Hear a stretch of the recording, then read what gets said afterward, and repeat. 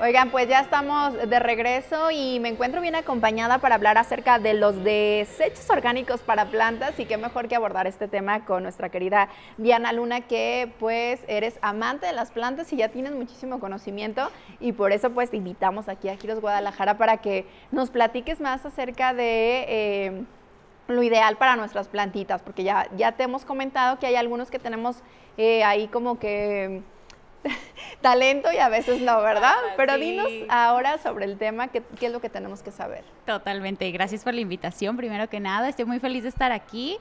Y bueno, pues eh, sí, hay, hay un montón de desechos que podemos usar que salen de nuestras cocinas diariamente, así que hoy les voy a compartir cómo usarlos para nutrir a nuestras plantitas. Pueden ser tanto eh, plantitas con flores, eh, de, todo tipo, ah, incluso si tienen em, pues su propio huerto en casa, que estaría ideal, ah, que todo el mundo querríamos uno en casita, también puede servir para eso. Así que bueno, son, son dos ingredientes como súper basiquísimos del día a día, la cáscara de plátano, que es súper riquísima en potasio, en magnesio, en calcio, en fósforo, un montón de nutrientes que sirven para que la tierra se siga renovando, que hace que, crezcan las plantas con mucha fuerza, ¿no? Entonces está la cáscara de plátano por un lado y el cascarón de huevo por el otro. Así, de verdad son nuestros mejores aliados para las plantitas. No hay que mm. ir a gastar más en fertilizantes allá afuera. Con lo que sale de nuestra cocina ya está. Entonces, eh, la receta es que los, vamos a ir almacenando. Em, ya sea que los, guardemos en el congelador, en el refrigerador, eh, para que también nos salgan como que más hormiguitas y así. Los podemos almacenar ahí en frío.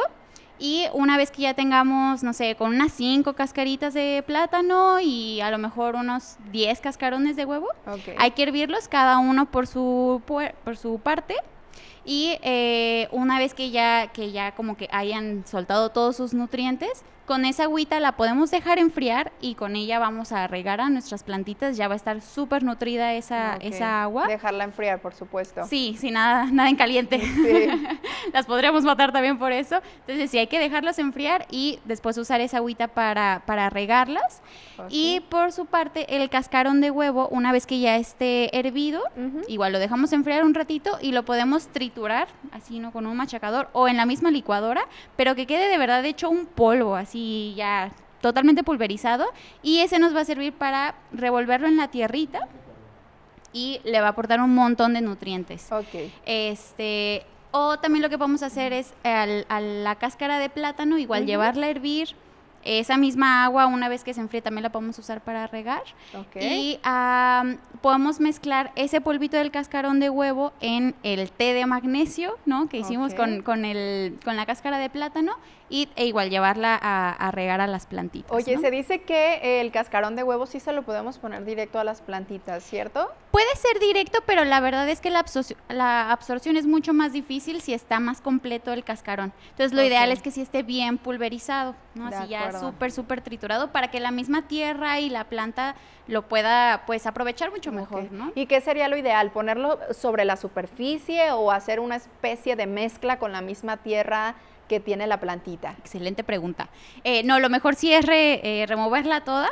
Este, ya sea que tengas como acá aparte tu, fertilizante y luego lo lleves a la, plantita o que hagas, eh, yo lo que me gusta hacer es como perforaciones con un popote y con el mismo ya le, le envías como el polvito para que llegue hasta la raíz y la planta lo pueda absorber mucho mejor.